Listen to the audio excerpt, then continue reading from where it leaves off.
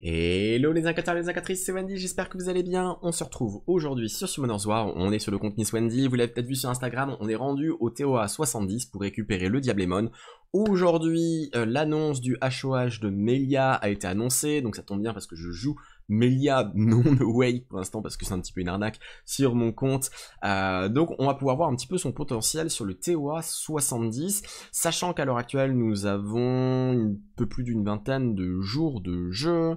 On en est rendu à 24, voilà, on est rendu à 24 jours de jeu. Donc j'espère pouvoir euh, cleanse le TOA avant qu'il reset. N'oubliez pas que euh, dernièrement il y a eu les packs de Reval et entre autres surtout le pack spécial d'upgrade avec euh, euh, les vélins d'Arken Light, avec les vélins légendaires. Donc si vous voulez vous les acheter, vous avez le lien Amazon Coin qui est juste en dessous qui vous permet de faire des économies à peu près à hauteur de 15 à 20%. Et si vous êtes sur iOS, bah, n'hésitez pas à passer sur un émulateur comme BlueStack, Nox ou Memu pour pouvoir le faire. Maintenant sans plus attendre, on va bien entendu se rendre directement au TOA 70. N'oubliez pas que vous avez la possibilité de liker la vidéo, de vous abonner si elle vous a plu, bien entendu, en fin de vidéo. Et maintenant, sans plus attendre, on se retrouve au TA 70.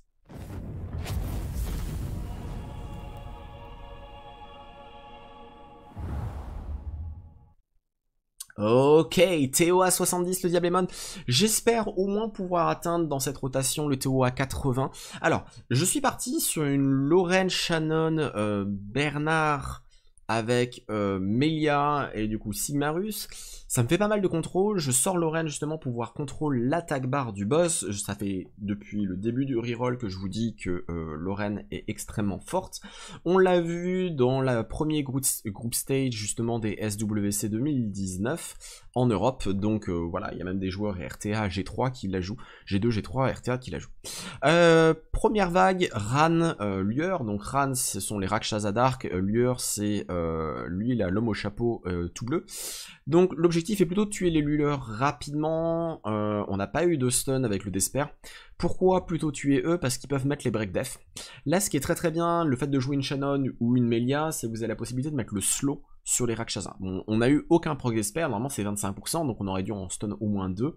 Euh, il s'est rien passé, on n'a pas réussi à contrôler tout le monde, donc on va contrôler l'ATB de Lueur si possible, et maintenant on va essayer de freeze avec Sigmarus. J'espère au moins en freeze 4 sur 5. Oh. Alors là, le run, il est vraiment pas très très beau pour l'instant. Donc comme je vous l'ai dit, l'objectif c'est vraiment de tuer les lueurs parce que c'est eux qui vont être embêtants, ils vont mettre le break def. Donc là, avec Shannon, on va se poser justement le buff euh, bénéfique euh, de défense et euh, on va essayer de tuer le lure. Donc là, le lure, on a réussi à le stun, donc c'est très très bien.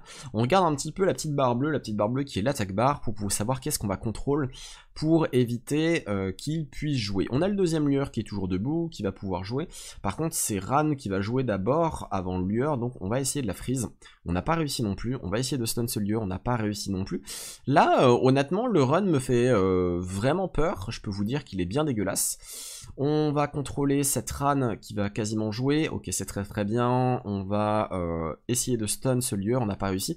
le lieur a joué très bien, mais il n'a pas fait euh, le break def. Il n'a pas fait le break def. On n'a pas encore réussi à stun avec Shannon, le, le qui ne veut pas aujourd'hui. Euh, ça me fait relativement peur parce que si on n'a pas un petit peu de chance de notre côté, ça risque d'être extrêmement compliqué face au boss. Il faut une part de chance au début quand on a des runages qui sont euh, moyens. On va essayer de garder nos cooldowns de nos sorts 3 pour euh, la prochaine vague, bien entendu. On va se soigner, on va quand même utiliser des soins pour booster ATB et aussi soigner notre, euh, notre Belladeon. J'espère que la rana droite va mourir euh, avec le dégât continu, hein, mais normalement ça devrait quand on voit le, le, tout petit trait vert qui est restant. Mais de temps en temps c'est un petit peu mal codé et c'est pas le cas, c'est-à-dire que normalement le trait vert c'est... Enfin, un dégât continu c'est 5% de la barre de vie de euh, l'ennemi, max hein, bien entendu, max HP. Ici on a les Gianna et les Pang. Les Gianna posent des bons, les Pang réduisent les cooldowns ou augmentent, euh, enfin réduisent d'un tour les, bombes, sinon au moins d'un tour les effets néfastes qu'on a sur la gueule. Donc l'objectif est bien entendu de tout contrôle et de défoncer les Gianna le plus rapidement possible. On vient d'avoir une petite résiste, j'espère que Shannon cette fois-ci va faire le taf avec le Despair. On a eu un stun, un stun avec le Despair. Ici, on va peut-être réussir à en avoir d'autres. On n'en a pas eu d'autres, donc là on est un petit peu triste. On va contrôler la pang, on va essayer de lui mettre le slow. On n'a pas réussi à mettre de slow pour l'instant sur cette pang là, donc c'est ça qui est embêtant. On va essayer de la freeze du coup, on va essayer de freeze euh, les monstres qui sont présents. Elle a encore fait un effet de résistance, donc euh, on n'est pas content là non plus, encore une fois. Parce que l'objectif du TOA, quand on débute dans le TOA, c'est de contrôler un maximum et pouvoir tuer avec votre Simarus qui va faire beaucoup de dégâts, ou bien de tuer l'ennemi avec des dégâts continus. Donc là on essaye de contrôler avec les, euh, les Là Lorraine devrait contrôler l'ATB, on a réussi euh, quand même à contrôler un petit peu l'ATB. Cette Pang devrait mourir. On va essayer euh, de, freeze celle-ci si on peut. Non, on a une résistance, mais elle va mourir. Donc on va s'occuper de la Jenna à droite. On n'arrive pas à mettre le Break Def. On a réussi à mettre le Break Def avec un petit proc Violent. Hein. Mon Belladéon est en Violent. C'est le seul monstre de cette team euh, qui est en face de vous qui est en Violent. Ma elle est en Swift Energy. Ma Shannon, elle est en Despair.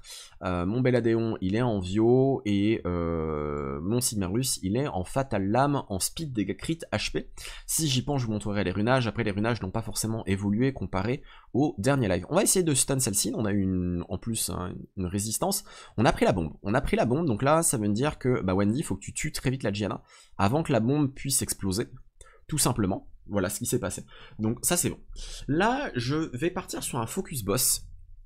Je vais partir sur un focus boss, on a réussi à mettre ça. On va essayer de stun un maximum avec le Despair. On a eu un stun sur euh, la Mégane à droite, donc c'est bien parce que ça évite de mettre un buff def et un buff attaque sur le boss, mais aussi ça évite de booster la TB. Est-ce qu'on peut avoir la même chose à gauche cette fois-ci? On a eu re un stun, cette fois-ci, euh, sur Train, Train qui met des dégâts continus sans nous toucher, donc ça ne nous réveille pas de l'effet d'endormissement de Ashubel, Ashubel qui, voilà, ce sont trois qui peut endormir tout le monde pendant deux tours. Là, pourquoi j'ai pris Lorraine? Justement pour pouvoir contrôler l'attaque barre du boss. Hop, hop, vous avez vu? Là, il s'est retrouvé mid-life. Là, on va essayer de partir sur un maximum de dégâts, même si j'ai pas le buff attaque. Le buff attaque va arriver très très vite avec Shannon, mais on peut quand même faire pas mal de dégâts. Là, c'est pas mal. On a réussi à mettre euh, le break def et euh, le break attack et le slow sur le boss, sachant que euh, Lorraine si tout va bien, devrait jouer avant le boss, donc elle va pouvoir contrôler l'ATB du boss. Ici, on va essayer de stun. On va essayer de stun avec Melia, vous savez, elle a un set d'espère. Donc on va essayer de contrôler euh, un trade, on n'a pas réussi. Là on va essayer de contrôler la TB du boss. Hop, très bien, on a réussi à en faire un peu. Là on a le buff attaque, donc il y a de grandes chances que si on crit, euh, on le fasse passer en dessous de la moitié de sa barre de vie à Choubel. Voilà. Voilà pourquoi il y a beaucoup de personnes qui disent Ouais, Wendy, euh, j'ai Taor, est-ce que je dois monter un Sigma? J'ai tel monstre, est-ce que je dois monter un Sigma? Qu'est-ce que t'en penses Et tout? j'ai une Alicia, est-ce que je dois monter un Sigma? Je trouve que Sigma, ça fait trop de dégâts. Donc là, on a pris un contrôle, on a pris un contrôle du boss. Euh, là, il y a eu les deux buffs, vous avez dû voir les deux buffs de Megan, euh, celle de gauche et celle de droite. Donc on va essayer de strip avec Lorraine. On a réussi euh, à strip le buff def, mais on n'a pas réussi à strip le reste. Donc on va essayer de faire un maximum de dégâts, ça devrait passer. On va continuer dans ce sens-là. Ok, très bien. On va essayer de mettre le slow qui peut stun tout le monde avec le Despair. Hein. Ouais, bon, c'est pas mal. En vrai, c'est pas mal. On va retirer les effets bénéfiques du boss. Et on va retaper encore avec Sigma, vous avez vu Sigma. Euh, pareil, j'ai beaucoup, de demandes. Est-ce qu'on doit monter Spectra, selon toi, Wendy, maintenant qu'il y a Sigma? Pour moi, je trouve que Sigma est plus intéressant qu'un Spectra maintenant. Euh, si on joue une Shannon, on a le slow. Si on joue une Melia, comme là, bah, vous voyez, on a le slow. Et euh, bah, finalement, ça se passe relativement bien.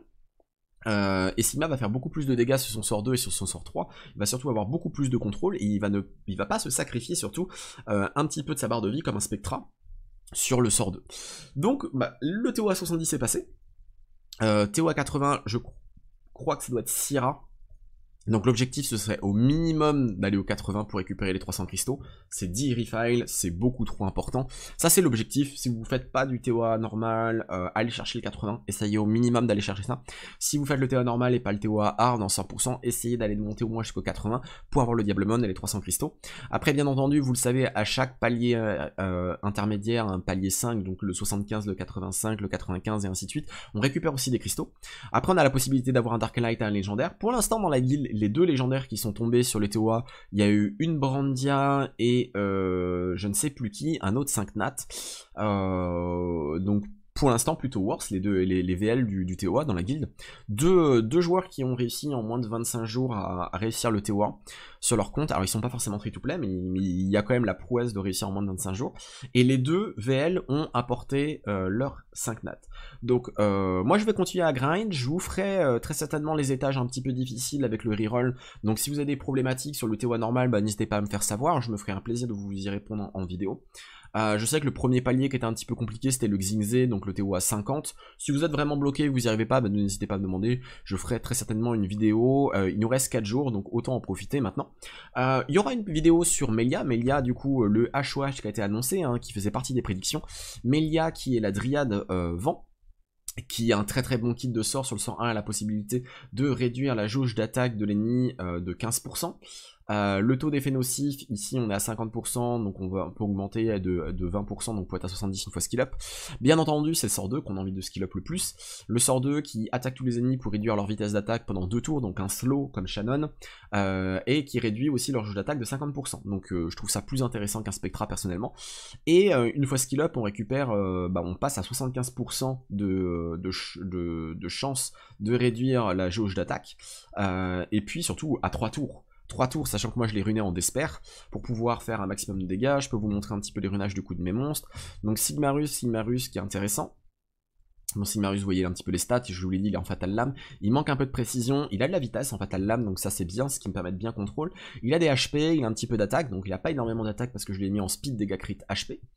Euh, concernant Shannon, elle est en Despair, donc vous voyez, elle a un petit peu de précision, ça pourrait être encore un peu mieux. Elle a de la vitesse, donc on a la possibilité de bien poser le slow, le glancing hit, euh, et surtout de jouer beaucoup. Après, on joue Melia, donc Melia, je vous ai montré un petit peu, elle manque aussi un petit peu de précision, elle a de la vitesse, elle est en Despair, elle a de la def et des HP.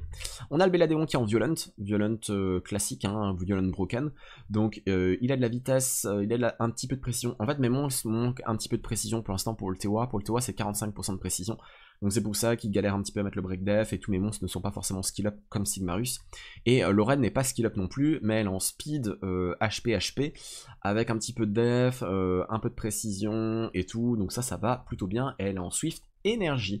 Voilà pour les runages, j'espère que ça peut vous aider.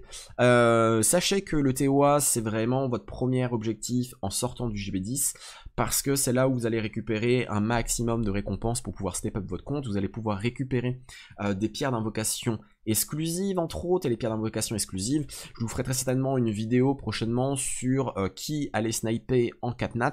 Cette fois-ci, on a Verde et Triana qui sont deux très bons monstres, mais on va pas aller chercher parce que Verde Fusion et Triana est plutôt late game. Euh, dans les rotations qui arrivent prochainement en 4 nat, on a Chazune, c'est très intéressant, mais je vais essayer de m'en passer pour l'instant. On a ici un roi barbare vent euh, qui est top, mais surtout on a Shaina, euh, la danseuse au chakram, donc là c'est une très très belle rotation qui arrive dans 11 jours. Euh, une semaine après on a Luchen aussi, très très bonne rotation, avec en plus des bons 5 nats qui peut aider au début, entre autres ça où ça, carry énormément pour les compteurs Ligam. On a Xingze qui est très intéressant aussi. la semaine d'après on a Veran, enfin je vous ferai très certainement une vidéo pour parler des prochaines rotations à venir avec les comptes Early Game. J'espère que cette vidéo vous a plu, n'oubliez pas le petit like, n'oubliez pas de vous abonner à la chaîne, ça me soutient de ouf, surtout lors de mon projet. Enfin, en ce moment, on est dans le projet des 90 jours, vous avez peut-être vu le récap des 30 jours que j'ai fait euh, dernièrement. Donc, si c'est pas encore fait, n'hésitez pas à les checker, et on se retrouve ce soir, dès 20h, 20h, 23h, pour le Wendy Summon Show 4ème édition, full summon, semaine prochaine, ce sera une summon de guild, et euh, dans deux semaines, je commence déjà à voir des personnes qui euh, commencent à poser aussi leur date pour les summon sessions, donc n'hésitez pas à me contacter sur Twitter ou sur Discord, et vous pouvez aussi me rejoindre sur Insta. Voilà, j'ai fait mon rôle d'influenceur et n'oubliez pas les Amazon Coins. Allez, ciao ciao tout le monde, bon farming.